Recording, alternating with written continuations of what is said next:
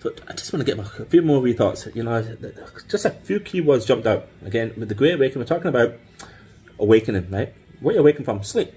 You know, the church has been asleep for too long. We've been slumbering. Jesus is waking us up. Humanity has been asleep. Asleep to all the evils going on in the world. The Bible says that Satan is the god liturgy of this world. Jesus said that in this world you will have trials and tribulations, but be of good cheer, I've overcome the world. And that's what happened. You know, the weapons of our warfare are not carnal, but they're mighty and powerful in God, for the pulling down of the enemy's strongholds. Know, we wrestle not against flesh and blood, but against principalities and powers seated in heavenly places, seek to exalt themselves against the knowledge of God. Ah, that's what they're doing. It's spiritual warfare, folks. And we've been given all the weapons that we need. We've been given the armor that we need. Time to take back from the enemy what he's stolen from us. Time to put on our, our armor.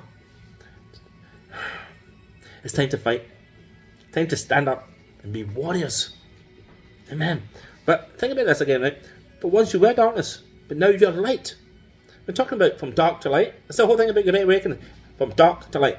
That's it. You were once dark, now you're in light. Walk as children of light. The Spirit of Spirit, and all goodness, righteousness, and truth. Wow. You know, Jesus said, I am the way, the truth, and the life. He said, No one comes to the Father except through Him. He's the only way, the only way to the Father. Think about it. The way, the truth, and the light. You know, the whole Great Awakening, people that embrace it are called truthers. They're spreading truth. Do you think it's a coincidence that Trump's social media platform is called Truth Social? It's focusing on truth. What does the enemy have? All he has is lies. The enemy just has lies and deception. Remember, the Bible says that Satan comes to steal, to kill, and destroy. That's what he's doing. He's deceiving. He poses as an angel of light. All he does is seeks to kill and destroy. He roars around like a prowling lion. So he prowls around like a roaring, roaring lion, seeking those whom he may devour. He can't devour you. You're a believer, he can't devour you. You know, Jesus said, All authority in heaven and earth begin to me. I give to you. Now you go therefore. You resist the devil, he'll flee from you. That's powerful. You get to resist the devil. He must flee from you. It doesn't say, oh, he'll consider it. Oh, man, that's a possibility. It says, he must flee from you. Why? Because Jesus gave you authority. Now, you remember things you saw Jesus did? Oh, see what he did. He did miracles. Fed 5,000 people, fed another 3,000. He walked on water. He raised the dead. He healed people. Cast out uh, demons. And he said, hey, that's the things I did. You do that too. And even greater things than that. Wow, really? Us? Do greater things than that? Yep. That's what he said. It's a promise. Time for us as Christians to lay hold of the promises of God. Say, who am I in Christ? Well, I'm more than a conqueror Christ Jesus. I'm the head and not the tail. I'm above and not beneath. I can do all things through Christ who strengthens me. Amen. It's a promise for you, for me, for all of us that are born again. It says, have no fellowship with the unfruitful works of darkness. You know, as believers, should have no fellowship with the unfruitful works of darkness. We're supposed to come out of the world says, Be in the world, but not of the world. No more going to drunken parties. No more sleeping around. No more living in sin, folks. It says in the Bible, Be holy as I am holy. It's true. It does. Christians can't just say, Well, I'm saved by grace, not by works, lest anyone should boast. Yeah, it does say that. But still, be holy as I'm holy. But did Paul say? Well, because of grace, should I just sin all the more, like grace abounded even more? No. It's not an excuse to sin. See, when you sin, you give Satan an inward into your life. Because you're giving them permission say, ah, okay, fine, they're living in sin. And he's the accuser of the brothers. And he said, the accuser of the brothers has been hurled down forever. Ah. we got to say, do you know what? I've been set apart. Got to live differently. I'm supposed to be light in the world. Salt in the earth. Light in the darkness. Powerful. Remember verse 14 says, therefore he says, awake. Great awakening. Awake. You who sleep. Time to wake up, folks. No more sleeping. No more nodding off. No more. Doesn't bother me. I just put my head in the sand like an ostrich. No, wake up.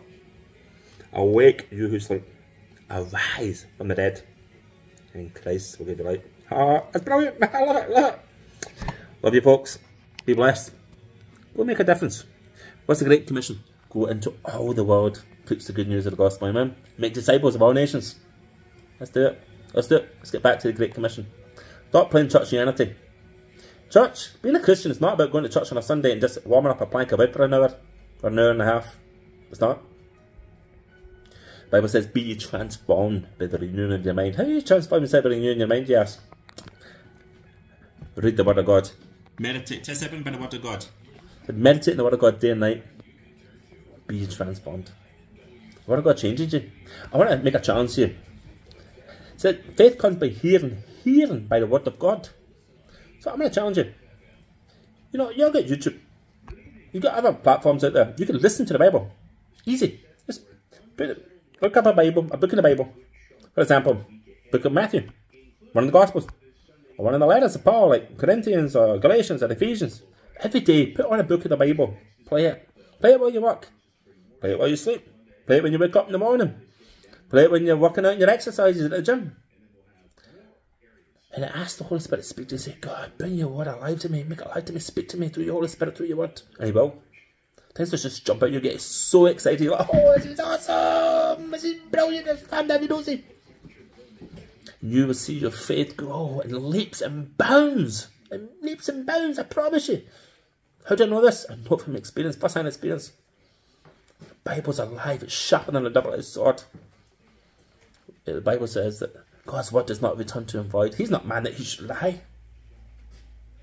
Pray a book of the Bible each day. Just listen to it. You're going to love it. You're to. You know, here's the thing, right? It's great to listen to preachers. It's great to listen to teachers. It really is. It's great to go to church and listen to sermons and evangelists and that. But there's no greater thing than the Word of God itself. See, when you when you read the Bible, read a whole book at a time. Don't just flit around from verse to verse all the time. There's a place for that. But you know, good to listen to a whole book in its context.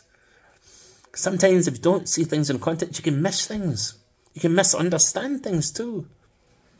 Just so it's really good, really, really, really good to, to listen to, to whole chapters, whole books at a time if you can. Oh, you're going to be blessed. You're going to be blessed. Make that challenge for yourself. Set a challenge for yourself this year. Say, you know what? I want to grow in my faith. I want to listen to the word of God. I want my faith to increase. Oh, I'm going to get in there and I'm going to read it. When you do that, you can rightly divide the word of truth.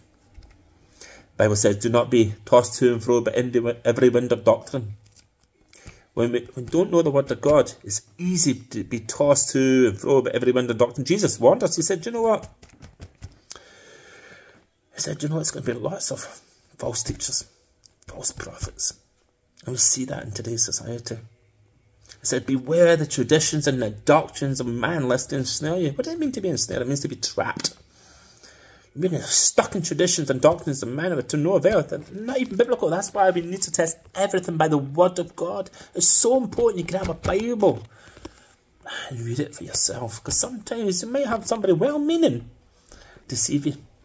Maybe sometimes somebody's deceived doesn't know they're deceived and they're deceiving others. Blind leading the blind they don't realize it. Why? Because they don't know the, what the Word of God is, what it says. So we are so blessed in our day and age to be able to have a Bible, to be able to listen to online as well. I encourage you, humble yourself before God and say, God, I'm yours. I want to live for you now. The most important decision you ever make in your life, believe it or not, is not getting married. It's not what college you go to what car you're going to buy, the first house you're going to buy. The most important decision you ever make in your life is accepting Jesus Christ as your Lord and Savior. The worst decision, choice you could ever make in your life is to reject that.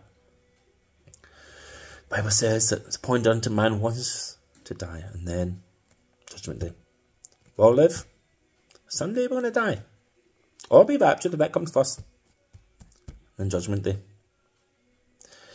When we stand before God on Judgment Day, it's too late to, to, to change our minds. Oh, whoa, whoa, whoa, whoa, whoa, whoa, this is weird. Oh, um, you know, I repent now. By that time, it's too late. You've made your decision. Is your name written in the Lamb's Book of Life? On Judgment Day, when that book is opened up, will your name be there? Well, Jesus be to look in there and say, okay, let's see. Oh, no, no, I can't see it. Uh, oh, not there, sorry. Tough luck. Sorry, can't let you in. That'll be, oh, yep, see it, right here. Oh, fantastic. Would Jesus be able to say to you, Ah, you made it, you made it, oh, brilliant, I've been looking forward to seeing you, but oh, I'm so glad you're here. Give me a big hug, oh, big hug, oh, well done, my good and faithful servant. Or will he say, Sorry, depart from me, I never knew you. You know, Bible in Revelations it says, I would rather you're hot or cold, because I would spew out the lukewarm. Challenge all Christians, all believers, don't be lukewarm. Time to get hot, get on fire for Jesus. Get back to fulfilling the Great Commission. Jesus did not come down to earth a couple of thousand years ago and die that horrible, brutal death for us to play churchianity, to play church. No. We're supposed to make a difference in this world. You know, our life here on earth is temporary. It is. It's nothing in comparison to eternity. You know, we're all born eternal beings. We're going to live for eternity. The only question is destination. That's it. Based on the decision that you make with what Jesus did for you will determine your destination. One or two choices, one or two places, heaven or hell. Now, there's people out there try say, oh, there's no such place as hell. God loves everybody. He wouldn't send, a good God wouldn't send anybody to hell. You send yourself there. When you refuse to accept the free gift, I mean, put it this way God made it so easy. He could not make it easier for you. You cannot earn your way into heaven. You cannot buy your way into heaven. You don't have to be a, a trillionaire, a billionaire, a zillionaire, a millionaire to get you into heaven. Nope. It's a free gift. I think God has a bit of a Scottish streak in him because he loves free stuff. You know, as Scots, we love free. It's a free gift. He just offers it to you. And you just have to receive it say, oh, i take that. I want that for myself. What are you going to do, folks? If you've not already made that decision, it's the most important decision you ever, ever, ever make in your life. Encourage you to make it. Seek God while He may yet be found. Because the day will come. You don't know when your time's up. You really don't. You know, I could walk out here today. I could get in a car crash and I'll be home. Boom, that's it, done. Judgment Day. I might live for a year. I might live for 10 years. I don't know. But no one knows. It could come. Could come in the middle of the night. We don't know. We don't know when it is. That's why we need to always be ready. Always be ready. Don't put it off, folks. Don't put off the most important decision ever. Don't think, ah, well, when I get old, when I get to 90, then I make a decision. No, make a decision now. Love you, folks. Be blessed. Enjoy the rest of your day. Happy Sunday.